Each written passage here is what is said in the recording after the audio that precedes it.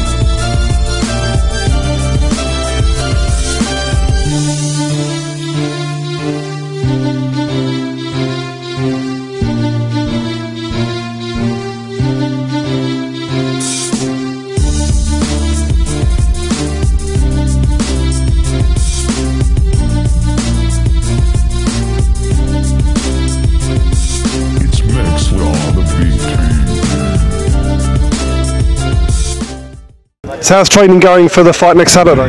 Yeah, really well. I've, uh, I've had eight to ten weeks with Jamie, so yeah, it's been really good. I've had good sparring.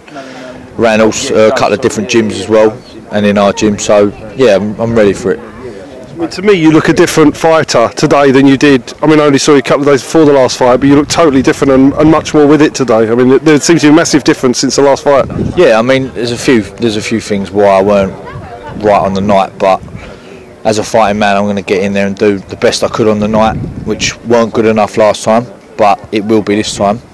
And uh, I've been working on different things with Jamie, so I'm al- I'm always going to do what I do, and that's come forward. But I'm also trying to get different things into my game when it's not working. Try to go back and hold the centre of the ring, not steam people, which I'm, I do naturally. So that's what we've been working on in sparring. It's been hard at times, but that's uh, that's what we're aiming to do. And I know Diego Burton's going to be the hardest fight so far, but I don't want to I don't want to be in people who are not not coming to fight because in my mind that makes it harder. So I want to fight people who want to fight, come to fight, which that that's going to happen with Diego Burton. So I'm looking forward to it. So, Jamie, you've recently started uh, taking over Joe's training. What, Yeah. differences have you have you made to him? I think with Joe, we're just trying to uh, take his chewing gum out there. Just, just trying to make him feel that he hasn't got to be a wrecking ball all the time. I mean, like everyone knows Joe's strengths. He's strong. He's got a great chin, and he can come forward. But that don't always win your boxing matches. So, and I think he neglects. Um, boxing sometimes and it may be too hard to teach him but we are seeing improvements in the gym like he's using his jab more and uh, just trying to create a bit of space for his punches instead of just all out and out pressure. Um, and it seems to have worked but the, the proof's going to be obviously at fight time when the bell goes if he can uh, sort of try and try and do a few things that we've done. But I always think fighters revert to type and you ain't going to change in that much. But um, I, I'm looking forward to seeing a few subtle changes yeah. Who have you been sparring in preparation for this? Uh, start camp sparring uh, John Ryder, who obviously, in my opinion, is a top level fighter, uh, but he's obviously a southpaw, so in the middle of the camp that stopped. But uh, yeah, I've been sparring uh, a German who's been over here sparring. I've been sparring uh, the last three weeks. Been sparring two or three amateur boys. They've been getting in and doing the doing eight and ten rounds with me, but splitting the sparring. So I've always had fresh sparring partners. I had uh, three sparring partners the other day, and I've obviously done the ten. So I'm feeling good for it. I'm ready for it. And what sort of test do you think Diego Burton brings uh, next week? I think Diego's a really good fighter. I, mean, I see him that I was uh, I was at the fight when he fought Lee Markham a while back, and I've seen the Elliot Matthews fight recently. And uh, I think Diego brings um, a set of problems. He's fit and he comes to fight. He was unlucky in the Matthews fight. Um, he's got he's got a good chin apart from obviously Markham. But I mean we've sparred Markham a lot. We know the sort of power power he carries. Um, but I think he can out at times if Joe can revert back to his old stuff. He could outwork him at times, but we, we've got a game plan that we've worked on, and uh, we're, we're confident we're, we're going to put on a good performance. But yeah, Diego Burton is a live threat. He, he really is. I want to win this British Masters. That would mean a lot to me, and uh, I want to defend it. And then yeah, I'd, I'd, my aim is to be Southern Area champion by the end of the year. Obviously with my team, as well, with Jamie, with obviously as my promoter. I wanna I want to be Southern Area champion, but it'll mean a lot to me to win this British Masters first. Yeah, well, I think a lot of times, I think the th- big thing about boxers is what happens when you have a setback. And last time was a setback, but it seems that you've really dusted yourself down and, and moved on with it because it is hard. You know, it's hard when you get a setback. A lot of people don't come back from it, do they? No, I mean, I, I would have got knocked out or put down bad, it would affect my confidence. But I didn't get hurt once in the fight, and I lost by a point. So it was just things affect outside of the ring affected me in that fight, but not taking nothing away from the, the fellow I fought. He was he got the decision. But the biggest thing, is, in my opinion, is I've learnt from it, so I'm a better fighter already. So I'll put it right when I fight Diego Burton, and then go on from there. Otherwise, I would have been doing the same thing. Yeah, I mean, the biggest issue about the last fight and the reason that you got the, the, the points awarded against you was the thing was that they were saying that you got there and you were forcing, but you weren't throwing enough. Yeah. And that's.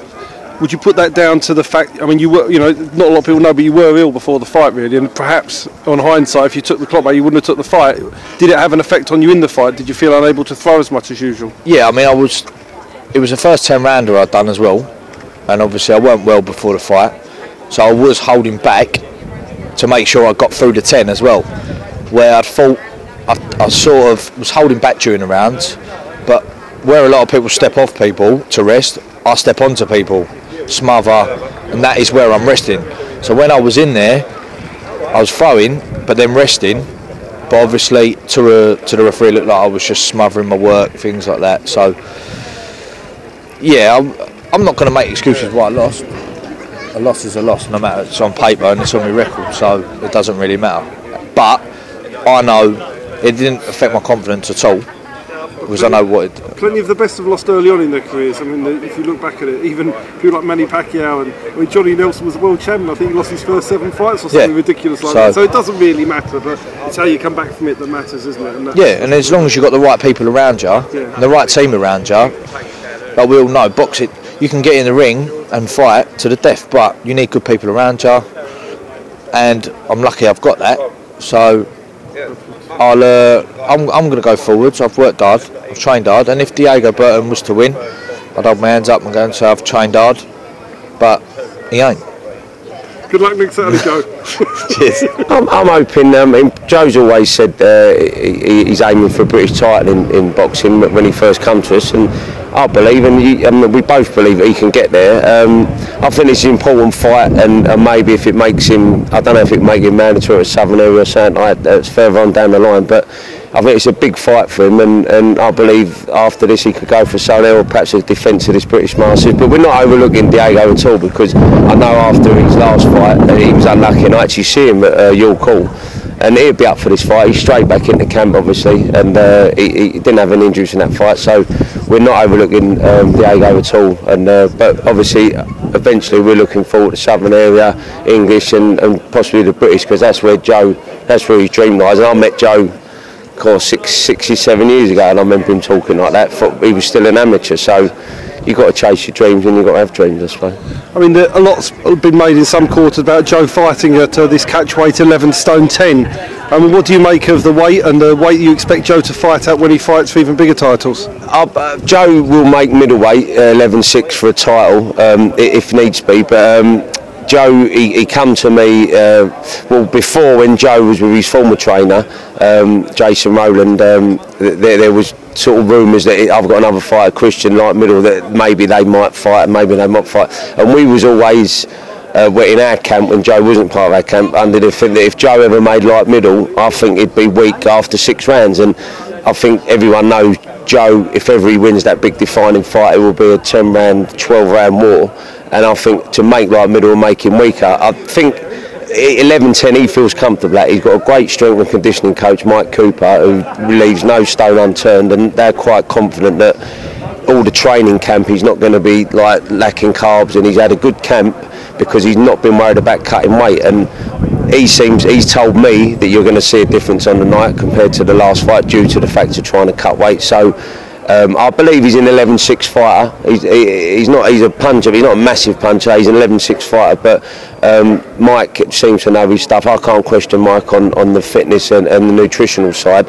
Um, and they seem to think he's going to be a different kind of fighter, 11-10. So we'll have to wait and see on the night. So it's all going to be revealed next All Saturday been night. revealed. Yeah, I mean we've had a good camp, and it, I think sparring um, at a higher weight, like throughout the camp, you don't want to be sparring near a fight near your fight weight and draining down because it's not going to do any good. So I think he's been around like the 12-2 all the way through the cat. Like we're not gonna, we're not really heavy, and, and, and we're going to do like the cut at the end. But he's been sparring at a strong weight, and he'll probably be sparring at the weight he probably come in at on the night which is which is round about the right way. So like when before I've done it with other fighters. I had another fight, Mike Evans, and he's trying to keep his fight weight four four weeks out before the fight, and you're not getting the good spars. You're going into spars dead after two rounds because you've not had no carbs and.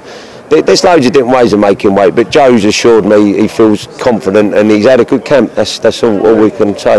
Look forward to next Yeah, I'm looking forward to it. Yeah, I really am. Okay. Thanks a lot. Cheers, Jamie. Thanks a lot.